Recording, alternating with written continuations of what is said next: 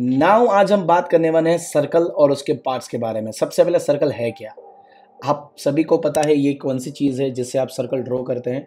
सो so, चलिए आगे बात करते हैं। Circle is a collection of points where all the points are equidistance from the given point is called centre point ये रहा आपका सेंटर पॉइंट वहाँ से इक्वल डिस्टेंस पे बहुत सारे पॉइंट से बनता हुआ एक सर्कल जैसे आप ये देख सकते हैं इसे हम कहते हैं सर्कल और इसका सेंटर पॉइंट ये रहा। सर्कल एक राउंड शेप्ड फिगर है, जिसके कोई भी कॉर्नर्स नहीं है और उसके कोई भी एजिस नहीं है।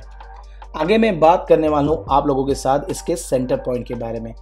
जो सेंटर में पॉइंट होता है, उसे हम सेंटर पॉइंट कहते हैं। इट्स सिंपल सेकेंड हम बात करने वाले हैं उसके सरकम ये जो बाउंड्री लाइन आपको दिख रही है, जिसके ऊपर ये इंसान दौड़ रहा है, ये बाउंड्री लाइन है जिसे हम कहते हैं circum the total length of the boundary line is called circum आगे हम बात करेंगे और एक और बॉडी पार्ट के बारे में जिसे हम कहेंगे रेडियस सो so, ये सेंटर पॉइंट है। सेंटर पॉइंट से लेकर आप सर्कल के सरकम के ऊपर कोई भी एक पॉइंट को जोड़ दो और एक लाइन बना दो जिसे हम कहेंगे रेडियस ठीक है ऐसे ऐसा ज़रूर नहीं कि एक ही रेडियस है।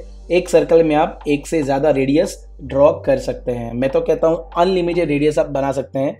आगे हम बात करने वाले नेक्स्ट टॉपिक के बारे में। उस टॉपिक का नाम है हमारा डायमीटर एक तरफ़ है सर्कल पे और सामने दूसरा पॉइंट है सर्कल के दूसरी तरफ़। दोनों के दोनों पॉइंट यहाँ पर और यहाँ पर सर्कल के ऊपर है और वो पॉइंट सेंटर पॉइंट को छू के निकल रही है।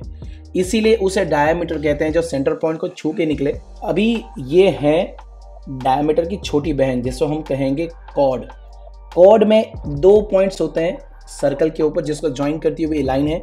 बट ये सेंटर पॉइंट को ज्वाइन नहीं कर रही है। तो सेंटर पॉइंट को कनेक्ट ही नहीं कर रही है। और लाइन सीधी सीधी चली जा रही है, उसे हम कहेंगे कॉड अभी हम बात करने वाले हैं आर्क के बारे में। Arc is a part of circumference आप देख सकते हैं। सरकमफरेंस मतलब ये पूरी जो सर्कल लाइन है, उसका छोटा सा एक टुकड़ा।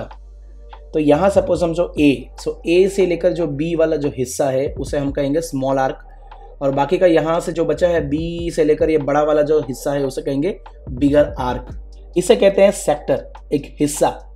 ये आप देख सकते हैं, यहाँ पर एक रेडियस है, यहाँ पर भी दूसरी रेडियस है, और उसके अंदर का जो पूरा एरिया है, जिसको हम कहेंगे सेक्टर ये छोटा वाला है, और बाकी का ये जो हिस्सा है, जो बाकी का हिस्सा बचा है, उसे हम बड़ा वाला सेक्टर कहेंगे.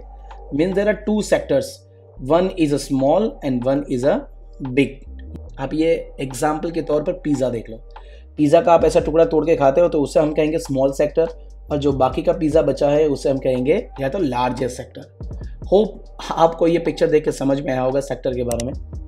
आगे हम बात करेंगे लास्ट टॉपिक के बारे में उससे हम कहते हैं सेगमेंट आप देखो मैं सर्कल को दो टुकड़े में डिवाइड कर रहा हूँ। आप देख सकते हैं एक पीस ये है। ये एक पीस है और दूसरा ये जो ब्लैंक वाला पीस है बड़ा वाला पीस ये वाला पूरा का पूरा। सो so, दोनों को हम कहेंगे सेगमेंट ये स्मॉलर सेगमेंट है और ये बिगर सेगमेंट है।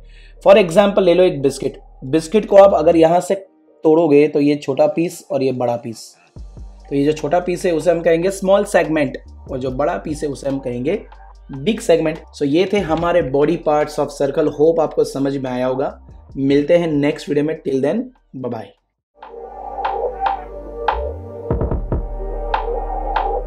If you like the video, share and subscribe our YouTube channel and press the bell icon. Thank you.